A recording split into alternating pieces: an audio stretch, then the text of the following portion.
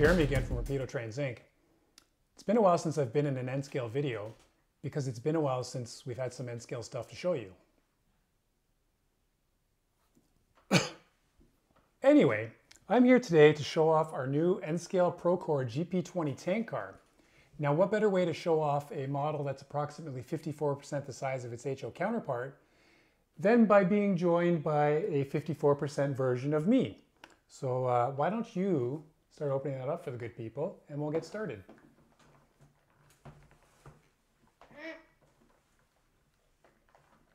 Yeah, it's tough, eh? Yeah.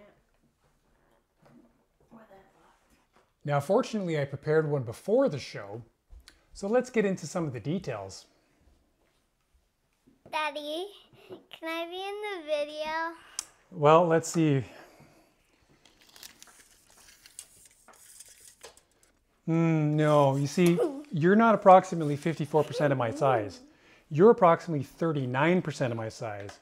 So when we start doing Z-scale products, we'll, uh, we'll put you in that video, okay? Okay. All right. Bye now. Built between 1969 and 1984 at Procor's Oakville, Ontario plant, the GP20 tank car became a fixture on North American rails well into the 2000s. They were used primarily for hauling lighter density, non-temperature sensitive commodities such as fuel and oil. Our model represents the later version with the 100-ton trucks. I personally have some of the Procor cars in the split P scheme in the PROX reporting marks, which fits into my 1990-1991 modeling time frame. I'm all about the 90s. But let's check out some of that sweet, sweet detail. We got photo etched metal walkways, detailed vent stacks, loading hatches, air tanks, braking equipment, coupler cut bars, and my most favoriteest features of all, body mounted couplers and low profile metal wheel sets, which will glide down Code 40 track without touching a single spike head. This is the way. Why are you talking Mandalorian way? Stop doing that. Because it's my show. Are you kidding me? These cars also have era-specific details such as ACI labels, COTS panels, and conspicuity marks as appropriate. Like, how awesome would a string of these look racing down your track? Well, it would look this awesome.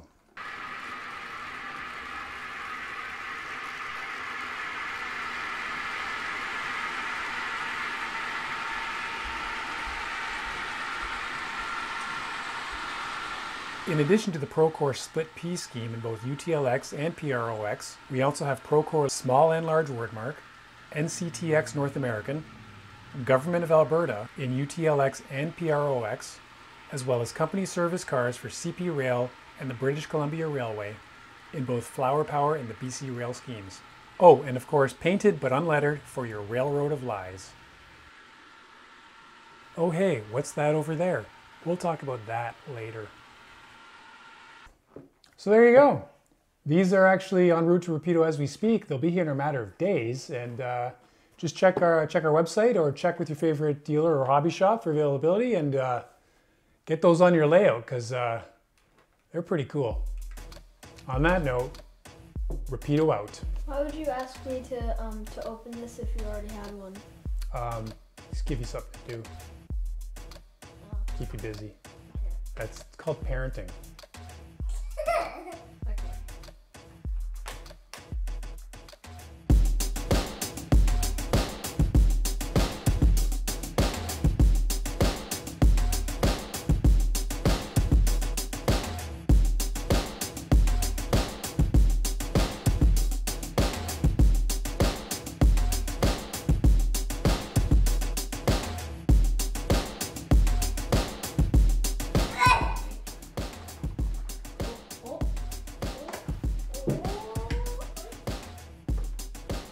I finally did it! Wow, that must be the tricky one.